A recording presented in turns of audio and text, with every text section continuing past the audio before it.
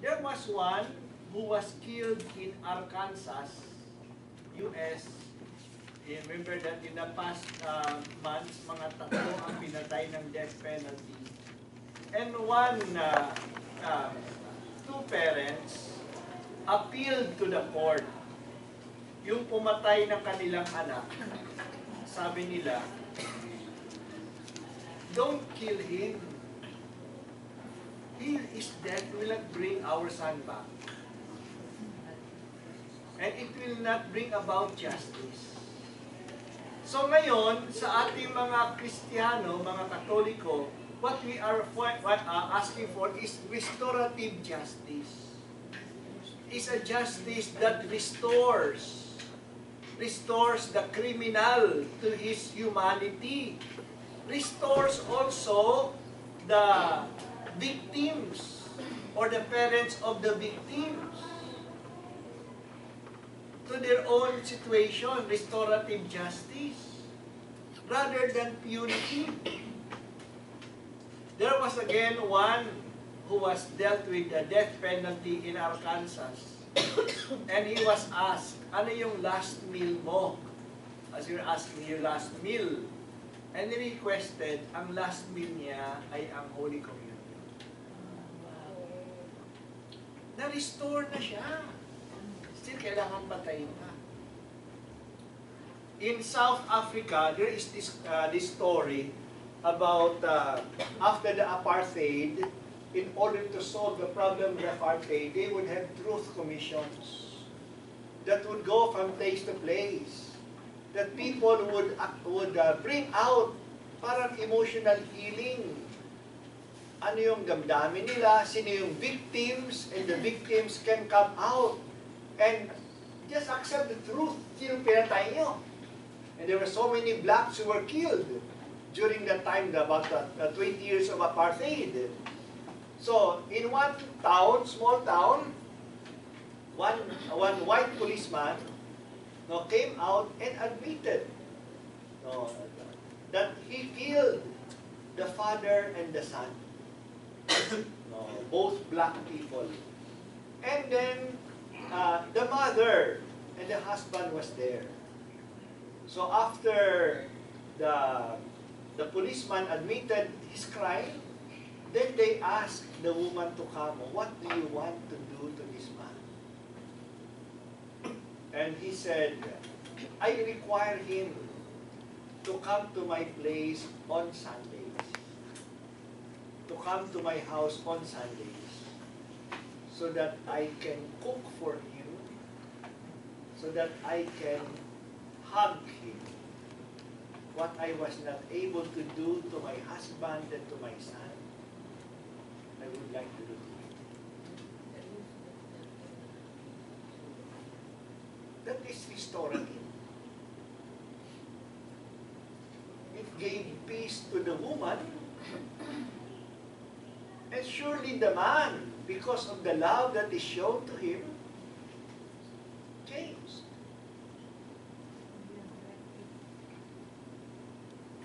And we still have a lot of work to do to make people understand restorative justice. There is justice when the humanity of the criminal is brought back.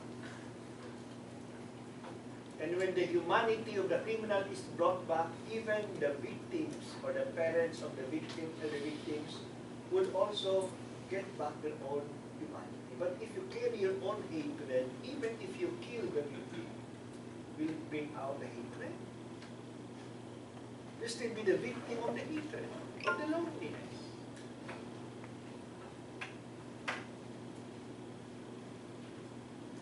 Ang iba, I went last uh, two days ago to the Senate, nakakampanya sa mga senador na to pass the death penalty.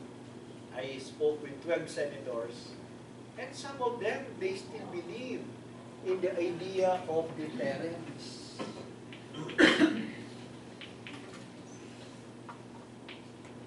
that with the death penalty, masasampulan matatakot yung iba. They will be afraid to do the crime because of the death penalty.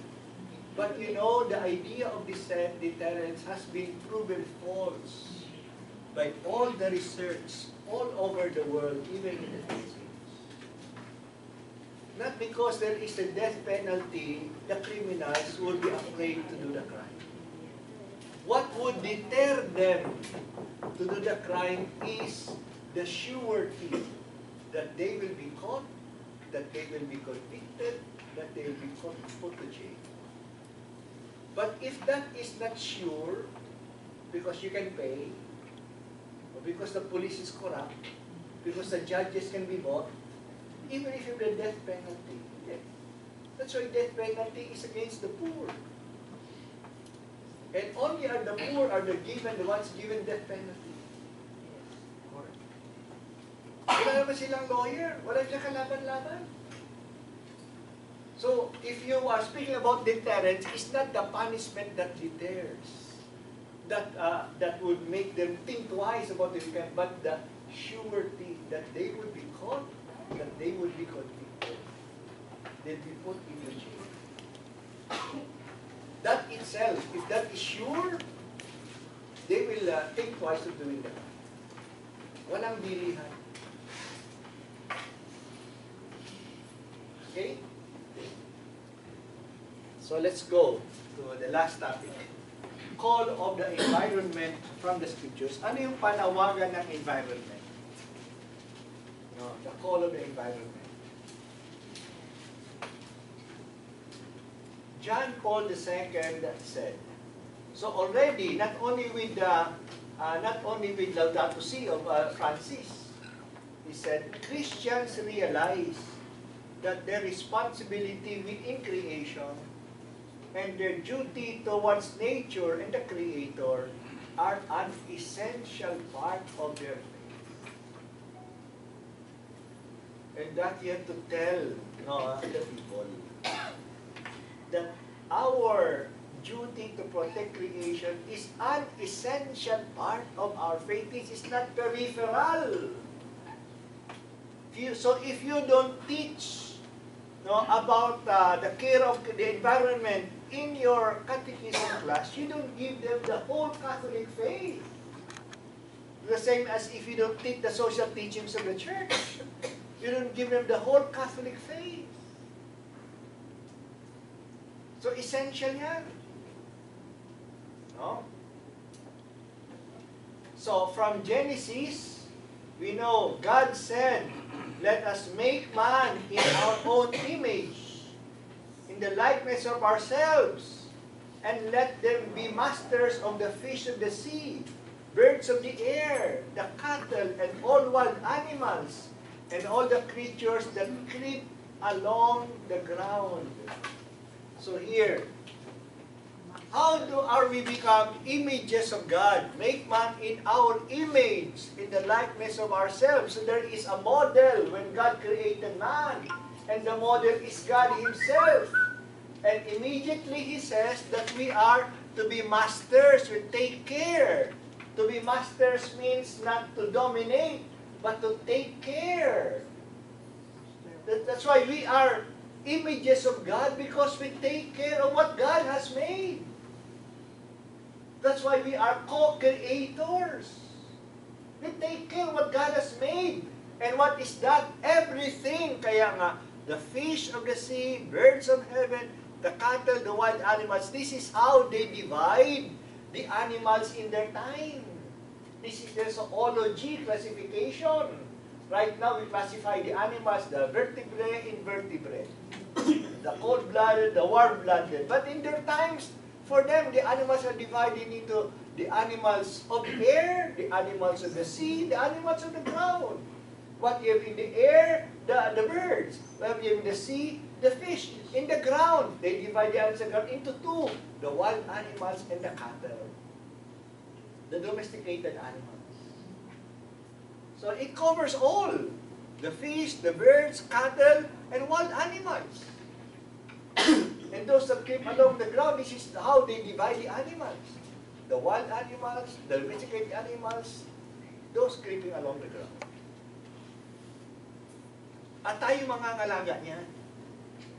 That's why at the very beginning, we are given a mission, and this is not even a Christian mission, this is a human mission. Mission as human beings to take care. That's the first account of creation. But there's another account of creation, chapter 2. And this account of creation again is the same.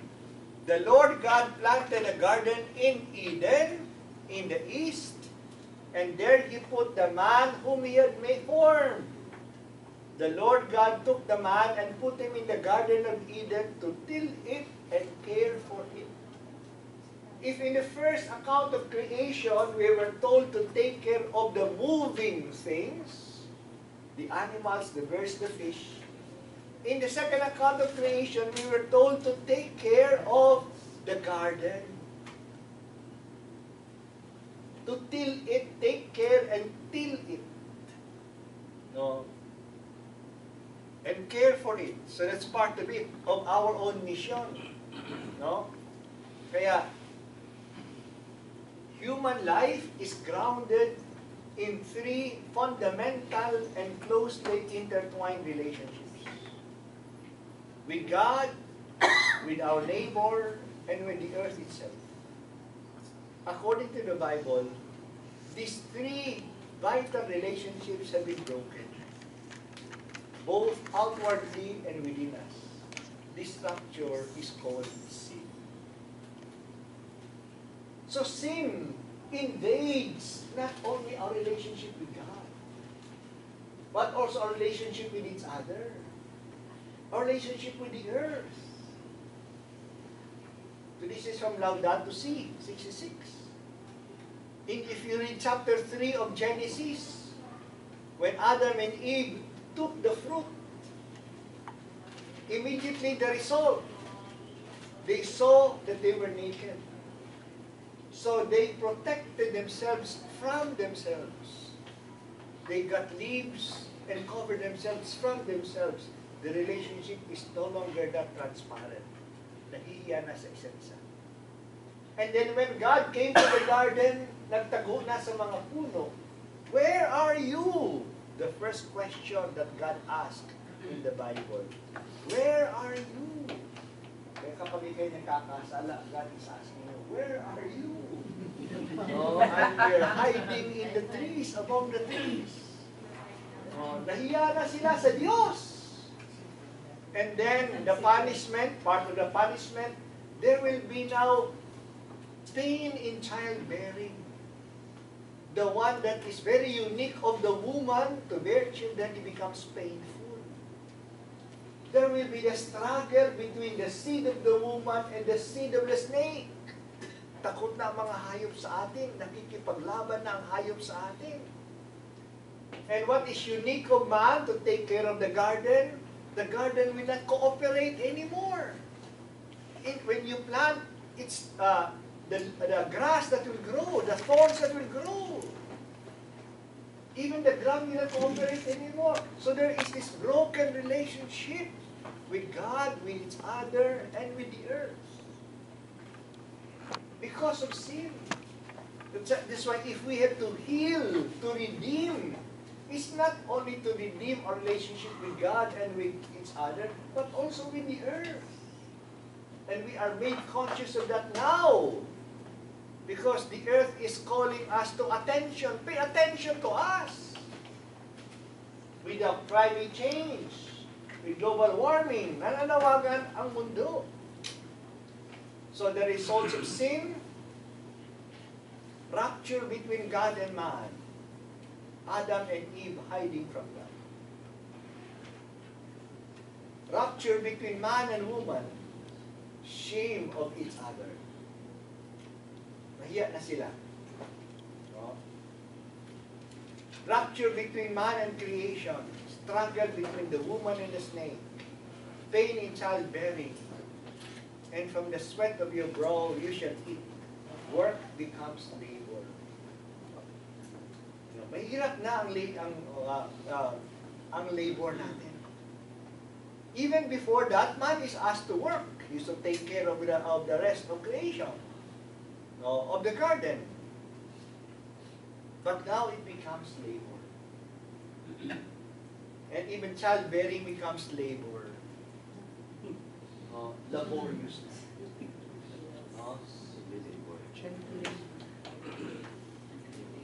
So Pope Francis said, the external deserts in the world are growing because the internal deserts have become so vast. For this reason, the ecological crisis is also a summons to profound interior conversion. In external deserts in Africa, we are not feeling it here, but in Africa they have the desertification. The Sahara is expanding. That's why many people are losing their own uh, homes, their own agriculture. That's why many of them are going to Europe because of the expansion of the desert, desertification. And now it's also happening to us. Some of our mountains are being destroyed because of mining. And because of that, there is no longer water. The drought becomes uh, more uh, pronounced. No. It's because of our internal crisis. Naging makasarili ang tao. Thinking only about oneself. No? Kaya yan ang mga resulta. The storms in the sea, how we pollute uh, the, the, the, the air, and the breaking of the ice in the Arctic because of global warming. The breaking of the ice would rise up the level of the sea. And already, some islands in the Pacific are being covered by water and by salt. And people are losing their homes. Yung mga islanders in the Pacific. No? Kaya, hear the word of the Lord, Israelites. For the Lord has a dis- dispute with the inhabitants of the land. There is no fidelity, no loyalty, no knowledge of God in the land. Yan sinabi ni Propeta Isaiah. So, there, the dispute of God with the inhabitants of the land. Why? No fidelity, no loyalty, no knowledge of God in the land. So what would be the result? Swearing, lying, murder, and stealing and adultery break out. Bloodshed follows bloodshed. So because of um, this uh, no fidelity with the law, so there is this abuse among human beings. And not only that, therefore the land dries up. Everything that dwells in it languishes. The beasts of the field, the birds of the air, and even the fish of the sea perish. Tingnan nyo ang dinadala ng kasalanan. The land languishes. Dahil sa pagkakasala natin, nauubos na ang beasts of the field. So many are extinct. And they continue to kill elephants to get their ivory. You know, also the birds of the air because of the pollution of the air. Because of the destruction of the forests. Because they want to plant palm oil. Because they want to plant uh, uh, biofuel. So inuubos ang Amazon. Inuubos ang mga uh, forest sa Indonesia. And the fish of the sea perish. Nawawala ang mga bakawan, the mangroves. Because of global warming, then our corals are being dried up become, because the sea becomes acidic. So the corals, which is the seedbed of many eggs of the fish, nawawala. Nauubos na rin yung mga isda. So, in the Bible, there's this relationship na nasisira. That's why there is the call for ecological conversion. So bagong salita yan. Ecological conversion. Not only personal conversion of your sins, ecological conversion, the effects of their encounter with Jesus Christ becomes evident in their relationship with the world around them. Living our vocation to be protectors of God's handiwork is essential to a life of virtue. It is not an optional or a secondary aspect of our Christian experience. So our encounter with Christ makes us more realize our role in taking care of creation. Our vocation, which is from creation, not to take care of nature. This is not optional. This is not secondary. It's part of our essential work as human beings. Hindi natin na-realize. Kaya marami sa mga lesson plan nyo, wala pa yung environment. Sana man ilagay ninyo.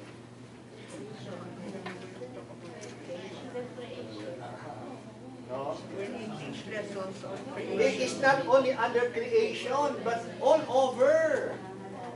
Ang dami kasi mga consequence yan sa ating life of virtue, part of life of virtue.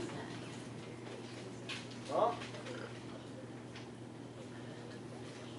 So, our Christian faith has certain convictions. Ano yung mga convictions ng ating Christian faith? One conviction. Each creature reflects something of God and has a message to convey to us. Kasi ginawa ng Diyos yan, we can know the Creator through the creatures. The same as you know the artist through art. Kaya mas nakikilala natin ang isang author sa kanyang novel, sa kanyang poem. Nakikilala natin ang isang composer, anong damdamin niya sa kanyang kinompose. So, the same also, we know God more through what He has created. Therefore, if we kill, if we make a creature extinct, a message of God is Kapag nawala na ang some animals, some trees, some fish, so pati ang knowledge of God natin ay mawawala. That's how essential it is. That's why it's more difficult to teach people, children, about God in cities, especially in dirty cities. To teach them that God is good, that God provides, that God is orderly. But it's easier to teach that, no? Probably in Buntok Lagaw eh. Kita mo pa yung mga bundok. Okay pa yung himoy ng hangin. Malinis pa yung ilog, you can point out. No, that God provides. Nandun yung ilog. No, pero kung wala ng ilog, can you tell them that God provides, wala ka makuha sa Pasig? No? That God cares na wala ng bulaklak. Wala ng puno. Another conviction of our faith. Christ has taken unto himself this material world. And now reason is intimately present to its being. Not only human being. So with the incarnation, God became material. In a way, the material world has been uplifted by incarnation. That matter can hold God. Matter can hold God. And by His resurrection, Jesus is in heaven with His resurrected body. Even, even that means with His transformed body. That ma- material reality is transformed by the resurrection. So somehow the resurrection uplifts all material being. something of matter is now in heaven. And that will also happen to us. That's why our material body is important. That's why we care for that. That's why we bury the dead. Or even if it is cremated, but re- cremated respectfully. We respect the human body. Because it has been the temple of the soul, and because that body will be resurrected. Another conviction of our faith. God created the world, writing into it an order and dynamism that human beings have no right to ignore. So the world has a, an order, has, has laws, which we cannot ignore. That's why if we destroy the trees, something will happen because the trees feed the animals. Kaya there is this dynamism that we can we should not ignore. So we should follow the laws of nature. Kaya yung problema natin sa mga genetics. Gagawa tayo ng bagong hayop. Oh, putting together yung iba't ibang mga hayop. Gagawa tayo ng bagong isda. O ng bagong tao with cloning. So we don't respect nature. Not only we don't respect nature, we think that we're better than God. We can improve what God has done. Oh, you see the human pride to become like God.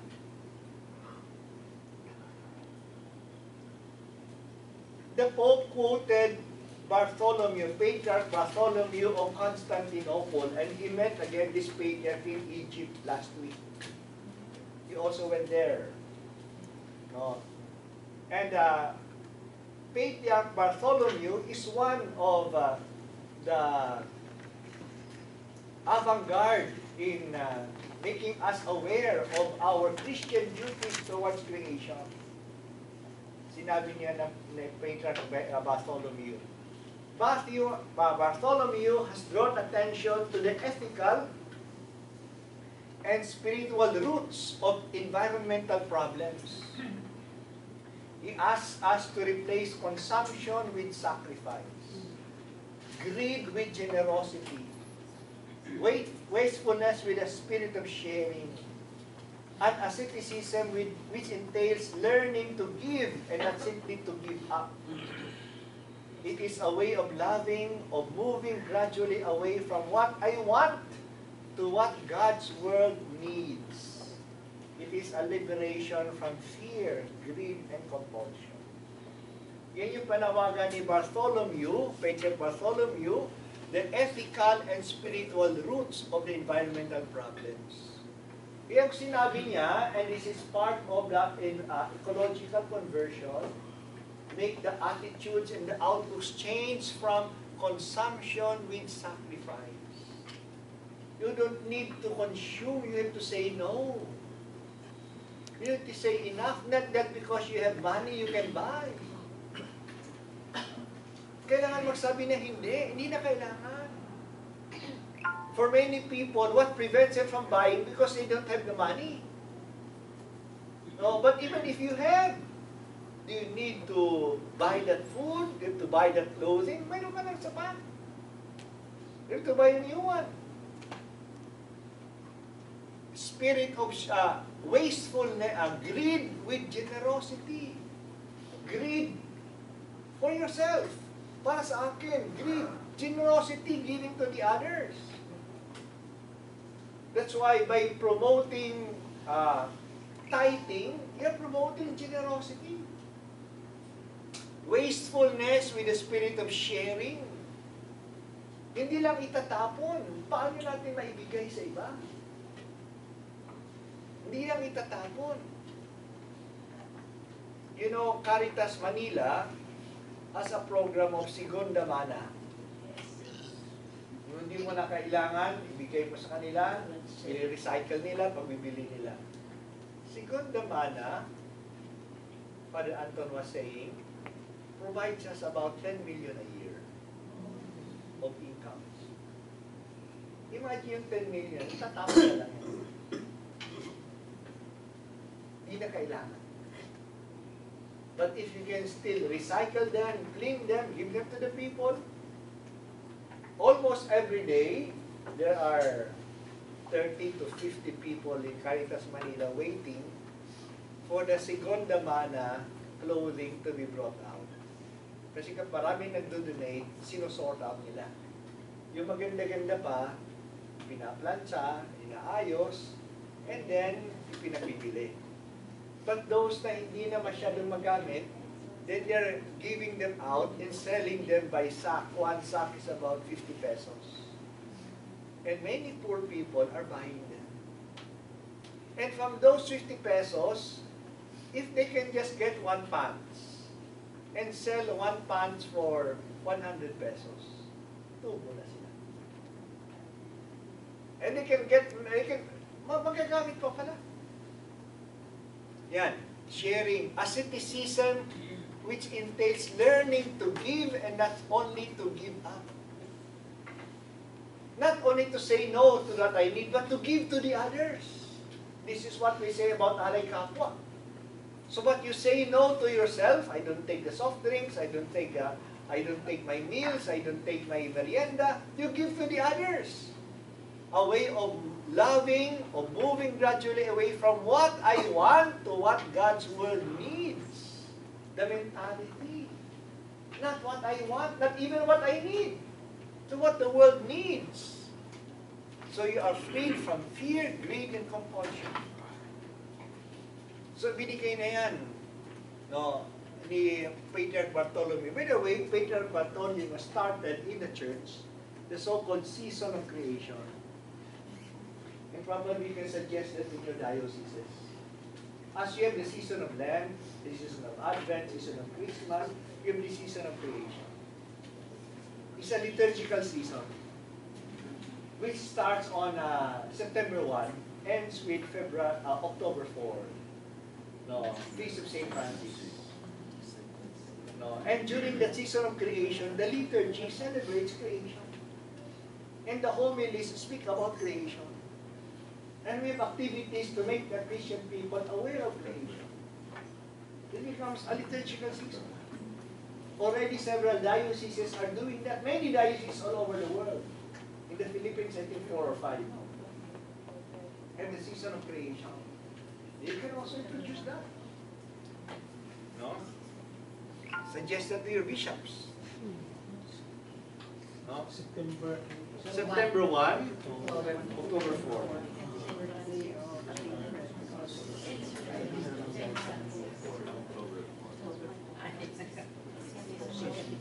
Saint Francis, uh, Pope Francis also quoted Saint Francis. Maganda yung sinabi dito. I believe that Saint Francis is the example par excellence of care for the vulnerable and of an integral ecology lived out joyfully and authentically. Joyfully and authentically. He shows us just how inseparable the bond is between concern for nature, justice for the poor, commitment to society, and interior peace. Itong apat na ito ay magkaugnay, inseparable. That we care for cre- creation, we care for justice for the poor. And in fact, the destruction of nature brings more suffering to the poor.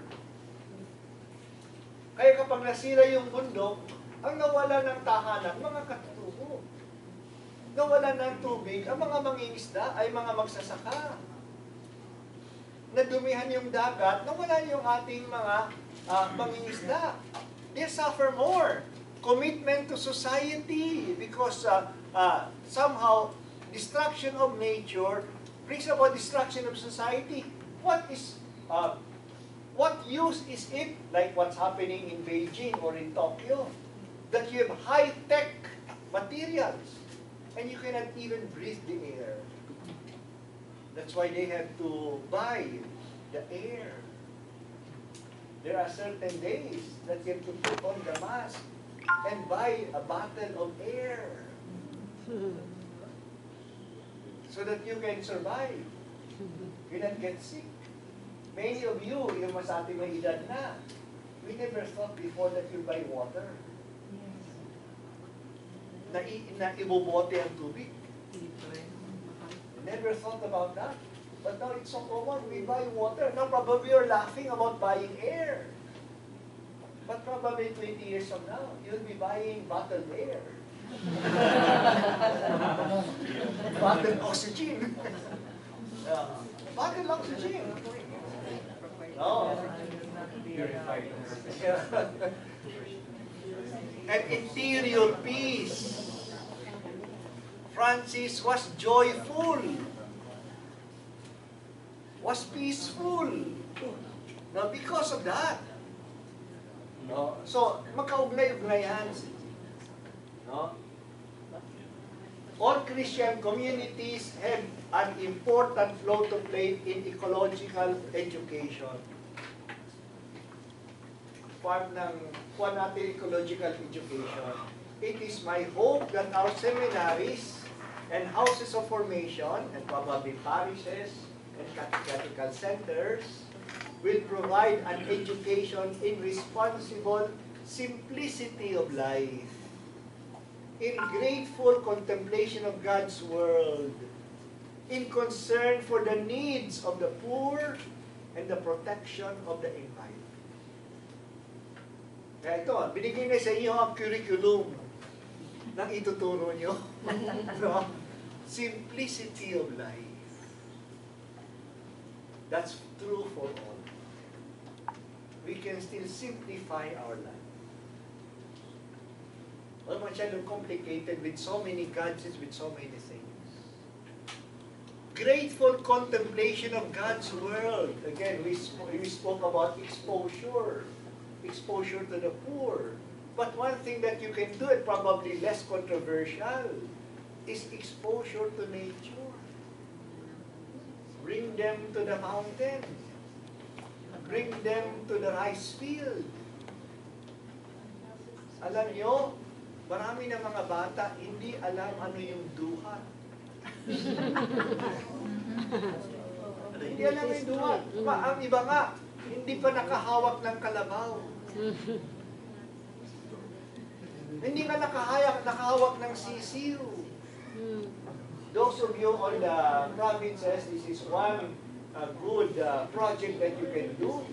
Get a piece of land and then uh, arrange that with nature na may kalabaw, may pato, may tilapia, and then make that as a tourist uh, destination. Make tourism. no, and let them pay. Mangisda kayo dyan ng tilapia, bawat mahuli nyo, may bayad. And they will do that. No? O, maghanap kayo ng itlog, bibilihin nyo. And you, you, you can plant their um, bayabas, and you harvest the bayabas, and you pay for it. And at the same time, you promote ecology. Yun yan. A grateful contemplation of God's world. Concern for the needs of the poor. Connected. And protection of the environment. Paghihiwalay lang. Paghihiwalay lang ng plastic sa ibang mga bagay. No, the biodegradable, degradable, just that which you can do in uh, in your own houses. And we can reduce and we can recycle. So pwede nang gawin. You know, one thing that you can make them aware, project nyo, pwede gawin. Everybody of you get uh, sa bahay, may dalawang pasok. Two pots or two cans. One can full of uh, soil. The other can wala. And when you eat, whatever is degradable, no, ilagay nyo rito, and then lagyan nyo ng konting, uh, uh, konting uh, lupa. Hindi yan tatangahin. Hindi yan mangangamoy. No, hindi yan uh, ah, lalanggamin. And then again, you eat, banana, you eat orange, lagay na naman dyan, lupa na naman. No, mga buto ng isda, lagay nyo dyan, lupa na naman. Mga gulay, lagay nyo, lupa na naman. Pag napuno na, may compost na kayo. And then tell, tell them to plant even in the house, whatever, even if you plant grass, as long as there is green, then you have more oxygen. You recycle. Kahit na grass lang ilagay nyo. And that can be done in the house. At hindi pa kayo tatangahin. No, hindi pa kayo dadagain.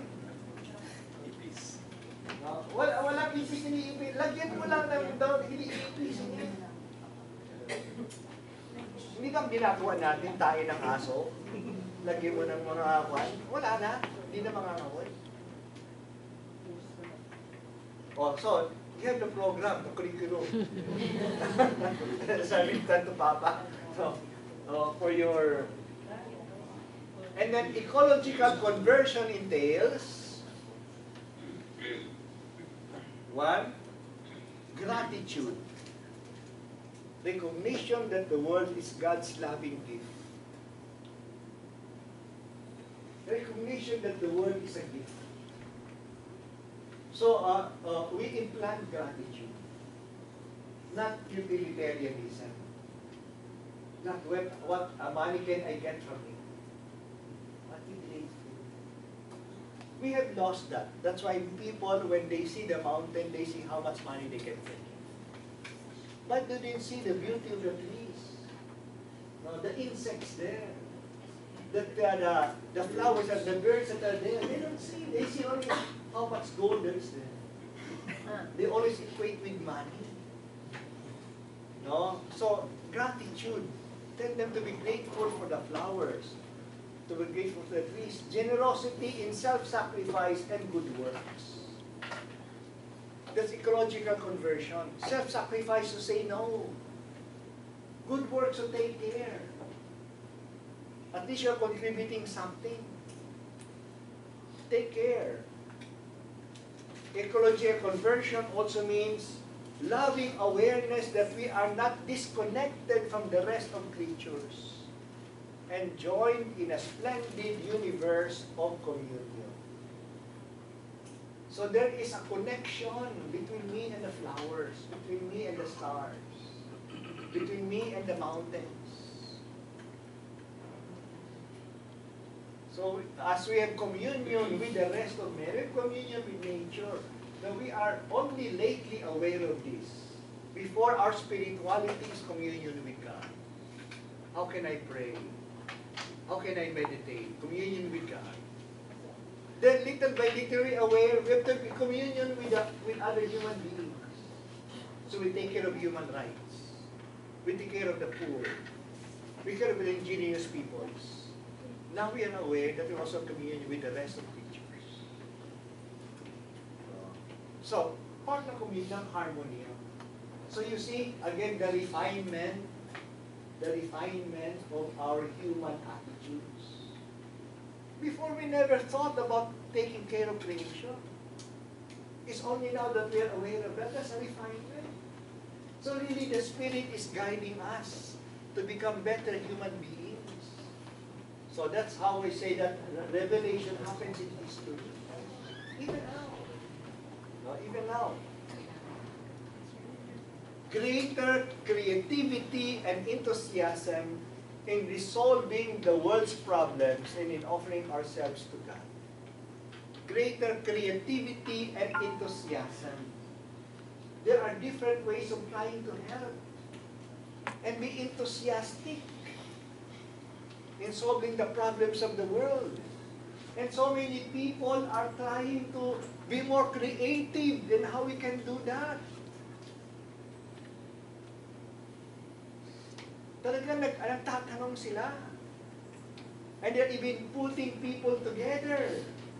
I have been invited to go to Thailand to talk with the other uh, representatives other Asian nations. How can we take care of creation in Asia? So mayroon mga ganyang mga initiatives. No? There is this kind of interconnectedness. Interconnectedness. Kaya maganda yung picture, yung luha mo ay kasama pala sa karagatan. Kasama pala sa karagatan. When the Lord saw how great the wickedness of human beings was on earth, and how every desire that their heart conceived was always nothing but evil, the Lord regretted making human beings on the earth, and his heart was grieved.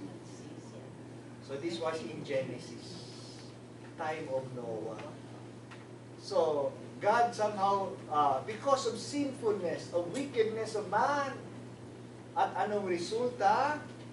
Ang resulta, the Lord said, I will wipe out from the earth the human beings I've created. But not only human beings, but also the animals, the crawling things, and the birds of the air. For I regret that I made them. Dinamay na natin yung iba. Eh, yung kasalanan ng tao nandadamay sa creation.